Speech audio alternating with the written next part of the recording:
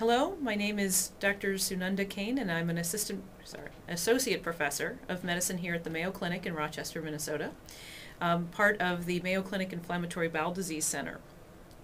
I want to talk a few minutes about Crohn's disease with you.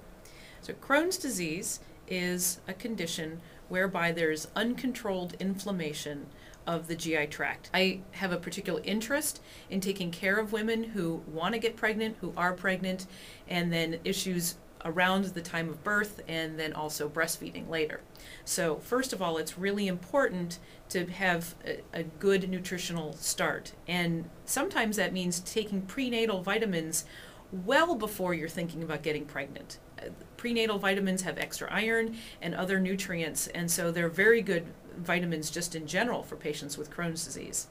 So, uh, that the fertility rates in women with Crohn's is slightly lower than in the normal population, but not so much. And really, what's driving that statistic are women who are trying to get pregnant when they have active disease. And whether it's known active disease or hidden active disease and nobody's just picked it up, that's probably what's driving some of that statistic. So I, I tell my, my female patients look, you know, as long as you're healthy, that, that there isn't a decreased chance of you getting pregnant.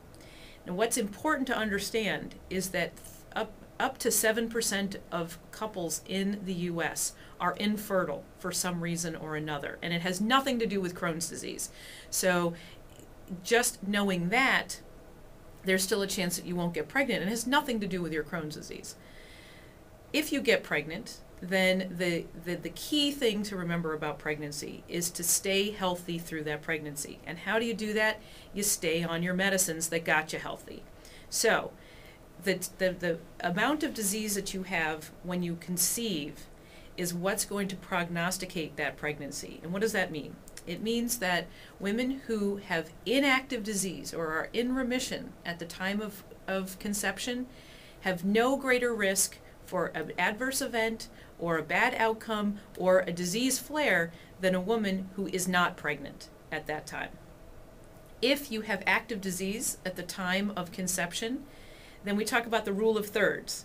A third of women will get worse, a third of women will stay the same, and a third of women will actually get better. And I've had patients come and say, listen, Dr. Kane, the only time I've ever felt well is when I was pregnant, and I'm in a flare, so I'm going to get pregnant to make to treat my disease. And I tell them that that's not a very good idea. And the reason is because every pregnancy is different, just like every child is different. And so you can't prognosticate based on what's happened in the past. So, again, it's really important that you're well when you conceive. So let's say you conceive and maybe you weren't so well. It's very important to tell your doctor, both your gastroenterologist and your obstetrician, that you are having active symptoms and that you are pregnant because it, it requires very aggressive treatment to get that disease under control from the get-go because it's really in those first few weeks to a few months that the, all the organs of the fetus are, are developing and that's when the risk for, for birth defects and congenital abnormalities is, is at its highest. So you want to make sure that if you have active disease that you are getting aggressive treatment. And what do I mean by aggressive? I mean that maybe you wouldn't otherwise be on steroids or you wouldn't otherwise be getting more of a biologic therapy that you're taking, but we definitely want you to be well and, and get well as fast as possible. Sometimes that means hospitalization, but usually not. So if you're well and you get pregnant, then whatever medicines you're taking that got you well, you stay on to keep you well. And I know that there's lots of concern and fear about some of these medicines. What's it going to do to my baby? Well, I'll tell you that active disease is much worse for your baby than the medicine that you're taking. Most medications, while they cross the placenta, are in extremely minimal amounts, and that the exposure to the baby is really minimal and not of any consequence. And we do have data to show that the drugs and the doses that we use for Crohn's disease are safe or, or what we would consider low risk for, for pregnancy and that some of these drugs are used at much higher doses for other for other diseases and it's at the higher doses that there may be problems but putting into context the doses that we use for Crohn's disease that these drugs are very effective at keeping disease under control and do not impart a, an increased risk for a bad outcome to that baby. So, what do we do with a woman who is on maybe, say, Remicade or Humira or Cimzia, one of the biologics, during pregnancy? Well, it turns out that those biologic agents do cross the placenta, but they do not cross the placenta in an effective manner until the third trimester. So late in the second and into the third trimester. So stopping the therapy in the first trimester is the wrong thing to do. That's when, again, there's going to be the least amount that's going to be transferred to the baby, and that's the time when you're at most risk for flaring and for having a, having a, a congenital abnormality develop in the baby. So it's the most important time in that first trimester to stay on your medicine. It's in the second and third trimesters when the baby's already formed and is just growing that consideration for scaling back or even stopping some of your therapies until the time of delivery is reasonable. And again, every patient is different, just like I said. So, depending on your health history with Crohn's disease, that you may need to see a high risk OB. It may not be the case. If this is your third baby and you've had very minimal amount of Crohn's disease and you've been well, then there's no there's not a necessary reason that you have to be seen by high risk. I get asked all the time about, well, do I have to have a C-section? And as it turns out, there are a lot of women in the US who have C-sections for non-medical reasons. It's just more convenient or it's fear of the obstetrician because you have this this label of Crohn's disease. But really, the only time that a C section would be mandated in Crohn's disease is if you've had fistulas or perianal disease, so problems around your actual anal canal where there's been fistulas, there's large hemorrhoids, there's been skin tags that's the patient who's at risk for having difficulty with healing if there's an episiotomy or if there's a tear during the vaginal birth process. So those are the patients that we recommend have a C-section.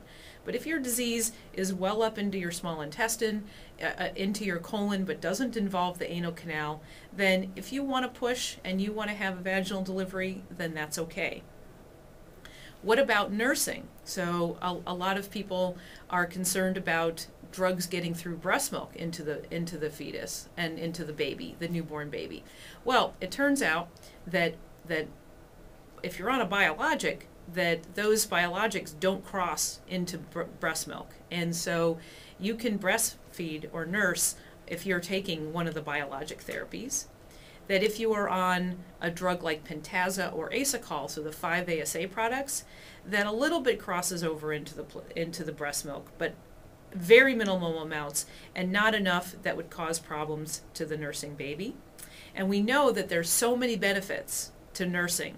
Um, and, and plus just the, the bonding that goes on there that I never discourage a woman from nursing if she wants to. Um, the medications that you can't nurse with would be antibiotics.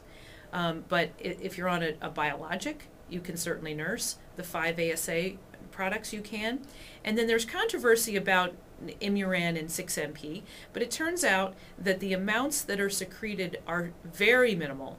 And there's very good actual um, scientific data to show that the, the highest concentration is going to be that first milk in the morning. So, what we have patients do is take their drugs at night, and then in the morning they pump and they dump their first milk of the day, and then they breastfeed the rest of the day because the amounts if if they're measurable at all, are so minuscule that even if you accidentally nursed with the first milk of the day, that again, the levels are so minuscule that it does not appear to have any effect. But if you really want to be safe for both you and your baby, you don't stop your therapy, you just use the science that we know to minimize that, that chance of exposure to your baby. Again, biologics not found in breast milk what about the chances that you pass this along to your baby? So I get asked all the time, well, should I really get pregnant because I don't want my children to get this? Well, as you may or may not know, there there are some genes that are associated with the increased risk for developing Crohn's disease. Now, that sounds like I'm a lawyer saying that, um, but what that means is that this is not a genetic disease like you would think about sickle cell or cystic fibrosis, where there's a very specific gene that's deformed, and if you if you inherit that gene, you get the disease. It doesn't work that way in Crohn's disease. There are a family of genes that seem to be more prevalent in patients who have Crohn's. So there's a genetic predisposition to this condition but it's not that just because you have it that you're going to pass it along to your children. What is the risk that it that the, the risk is thought to be about 7%, which is pretty low. So that if if you're a mom with Crohn's and you have a baby, the risk or the chance of your baby having Crohn's is only as, only about 7%. If the father of the child also has Crohn's disease, that chance goes up to somewhere about 40% range. So it's still not even 50 50. So that's how we know that this isn't a truly genetic disease like some other genetic diseases are. So the, the, the chance is not 100%, but we do know that family members do impart a higher risk. If there are several family members in the family that have the disease, it's still per individual only 7%.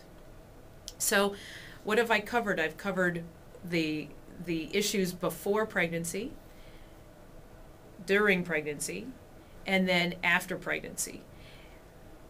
Do you need to be seen by a high risk OB? Well, it's never a bad thing to just have a consultation with one if you if this is your first pregnancy, if for some reason um, you are have had a, a complicated Crohn's course then it's not a bad idea. But again, it's not mandated that you be followed by high risk just because you have Crohn's disease.